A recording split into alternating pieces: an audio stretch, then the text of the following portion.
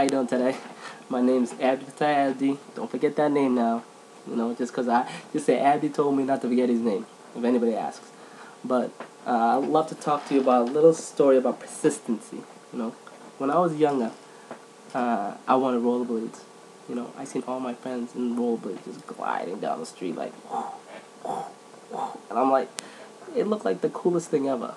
You know, I never knew how to roll, roll rollerblade, nothing. But I want to be, I want to be a part of what they were doing. You know what I'm saying? Look like they were having fun. They were just like legit gliding down the street. And I was like, hey, I'm tired of walking. I want to glide too. Um, so I went to my mom, like, mom, I grabbed a picture of the rollerblades. Mom, I want this.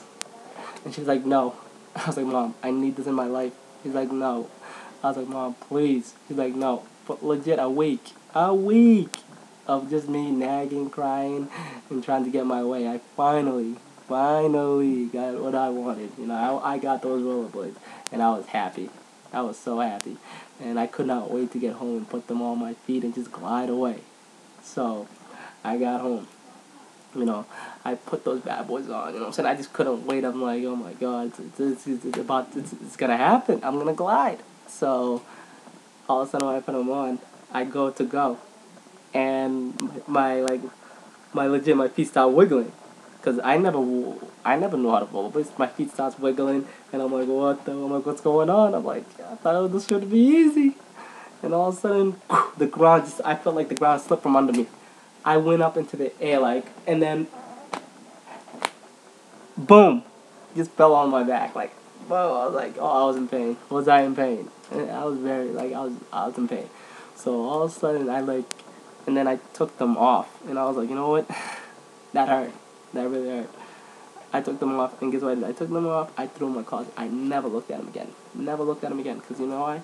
Cause uh, I still feel the pain. Every single time I think about rollerblades, I see somebody with rollerblades, I feel pain.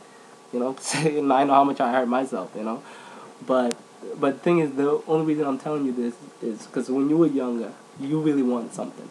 You know, and you went out of your way to get what you wanted. You know, you didn't care what you you, you didn't know what no was. You, we did not know what no was. We just wanted it. You know, and we kept hearing this no, and then we kept like saying, mm, "Is that a yes?" but eventually, it turned into a yes.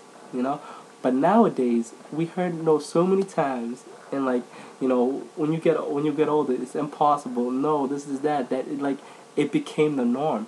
So when you want to like get when you want to go do something, you know what I'm saying? You want to go you want to go build a, like a restaurant or you want to go do you know you want to go do something that everybody else is not doing. People would come up to you and you tell somebody, "Hey, I'm thinking about doing this." It, it doesn't matter what it is. I'm thinking about doing this. People will tell you, "No, it's a bad idea. Don't do it." But but what happened? You know, we're, we're, we're taking advice from the wrong people. That's what happened, you know. We need to circle ourselves around with the right people that can help us get to where we want to be, you know.